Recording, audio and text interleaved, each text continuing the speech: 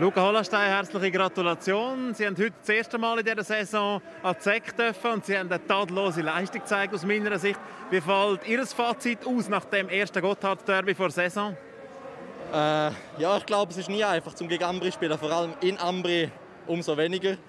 Aber ich glaube, wir haben ja, gestern nicht so einen guten Match gehabt. Heute haben wir, es wieder, haben wir uns können verbessern, haben wir uns können steigern und es war ein guter Team-Effort.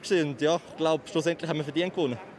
Jetzt haben Sie von Ihrem Team aber äh, wieder geredet, Ihre persönliche Leistung. Ich glaube, Sie dürfen hochzufrieden heimfahren in Zentralschweiz heute.